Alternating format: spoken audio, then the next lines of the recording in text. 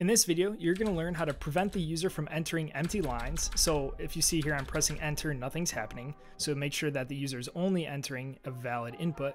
And we're also going to learn how to forget values uh, after a certain amount. So you're going to set a max lines remembered. So for example, you'll only remember 30 lines and you'll see this A up here. If I start typing a bunch, eventually it'll get deleted.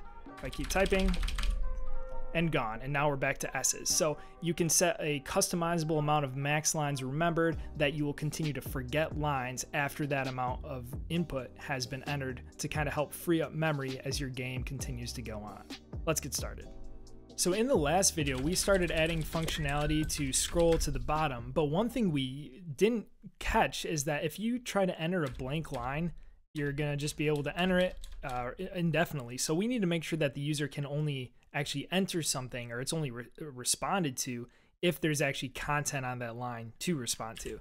So the simple way that we're going to do that is just in our game script here, in our on input text entered function where we're handling user input, we're going to say if new text, oops, if new text dot empty, which is a built-in function on strings that returns a boolean uh, true if there's no text in that string. So if new text is empty, we're just going to return. So we're not going to do anything if the user enters just an empty line of text. So if I play this now and just try entering, nothing's there. But if I type something, we can still type.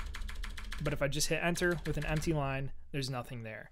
So that's an easy way to add some handling to make sure that you can't type empty lines. So the next thing we want to do is add a customizable max lines remembered variable so that we don't keep track of an infinite amount of lines and, and keep a bunch of memory we don't need. So in order to do that, we're going to introduce a new concept in Godot, and that's export variables. So below our input response up here, I'm going to type export and then parentheses, and I'm going to say int here, and then variable max lines remembered, and I'm going to default set this to 30.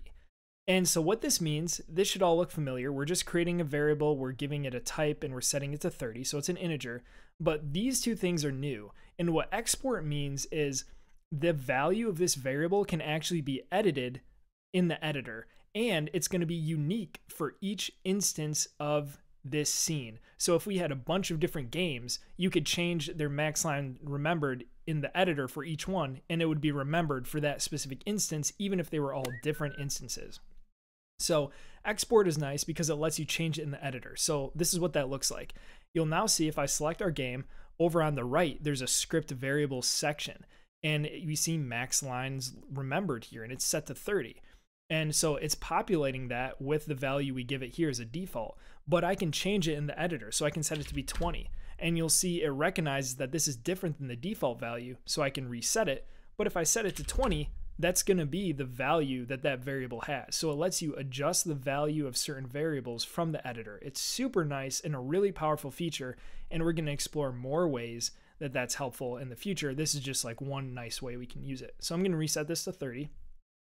So, and this right here is giving a type hint to the editor. So if I try and do, because I, I hinted it that it's an integer, if I try to do 30.1, it's going to round it to the nearest integer. So if I do 20.5, it'll be 21. So type hints are a great way to kind of use some built-in editor functionality to set or to help guide the user in which values they can set and prevent them from setting invalid values. So now that we have our max lines remembered, we need to actually check and make sure that we don't remember more than those lines. And the way we're going to do that is down here when we add a new line. So in our history rows, when we add a new input response, we're going to check and see if history rows dot child count, or I think it's get child count. So this is going to return the number of children in history rows.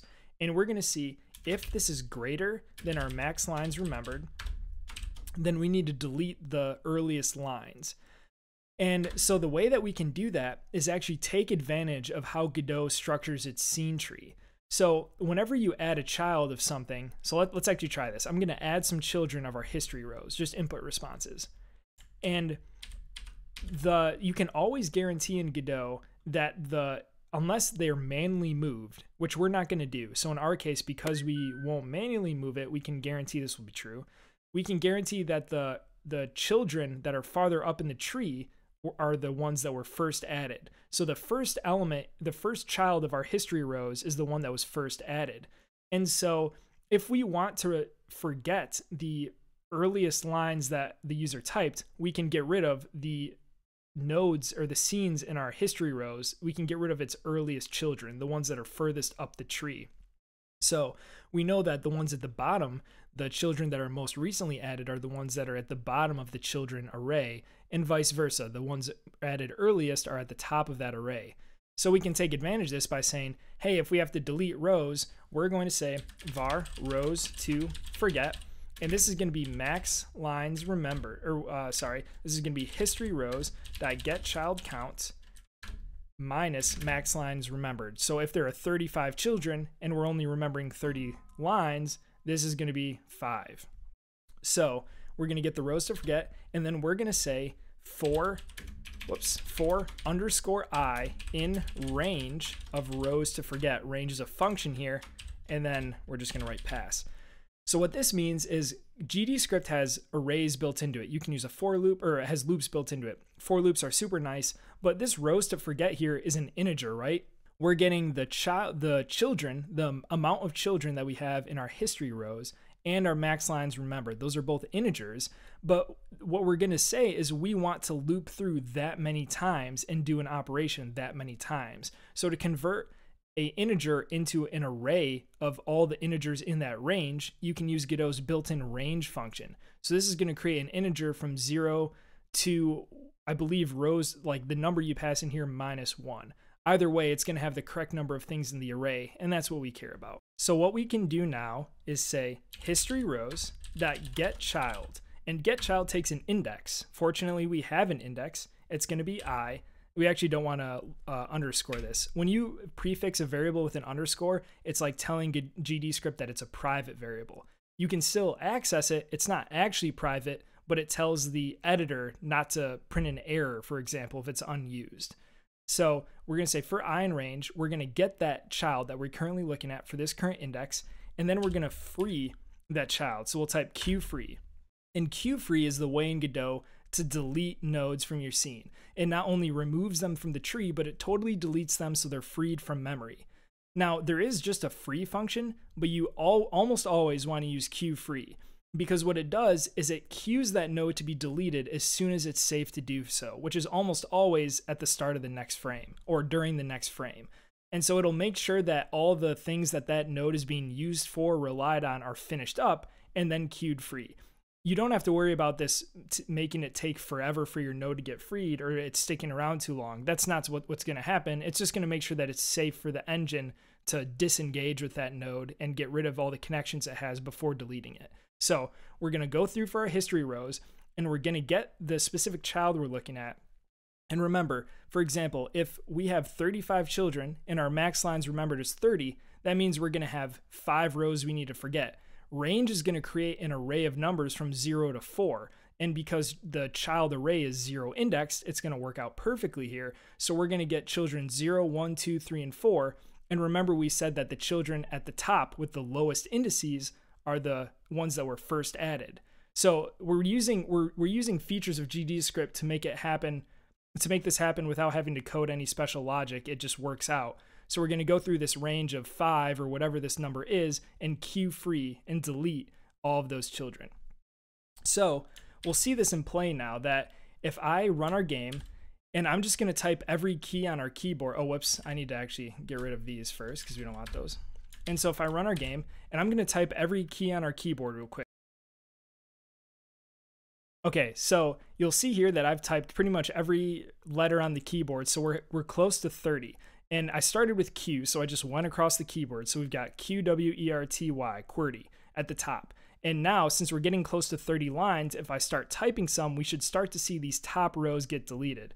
So if I type just again Q W E, we should see, oh, it's still there. Let me do a couple more. Q W, W, all right, R T Y, now the Q and the W are gone. So we've gone over 30 rows and the Q and the W are gone. We're left with only the ERTY and everything before. If I type X now, we'll see that that E is gone. R is the most recent one at the top. And if I keep typing stuff, obviously they'll still be deleted. and so on. So we've just implemented a way to, to limit how much history can be remembered in our scroll container in order just to make sure we're not continuously adding things and never deleting some of that memory so we don't have thousands and thousands of lines, just to kind of keep our game stable and, and not have to worry about remembering so much stuff. So you can adjust this number as needed. It does not have to be 30. You could bump it up to 100. Even a 1,000 would probably be fine, just depending on your computer. You know, it, it doesn't have to be this low, but I'm just going to keep it there for now for the purposes of our game, just to keep things kind of nice and clean. But anyway, I think we'll cap it there for now. But in this tutorial, you've learned how to keep a scroll history and delete things, and how to make sure that we're not letting users enter empty lines. So now we're starting to get a game that has a really nice text input feature. There's lots of stuff that you can do. It feels good. It responds as you would expect. The scroll works as you would expect. It moves you down but lets you see its history. Things are starting to feel really good, and we're ready to start actually adding some actual gaminess, some functionality, some fun to our game. Anyway, guys, thanks so much for watching. I hope this video has been helpful to you. If it has, a like and subscribe to support the channel are always appreciated. We'd love to have you in our Discord server. The link to that is in the description. You can ask any questions you have about the tutorial there. And if you find my work helpful, donating a coffee on Buy Me a Coffee, also linked to in the description, helps me continue to make great tutorials. Thanks so much for watching. See you in the next video.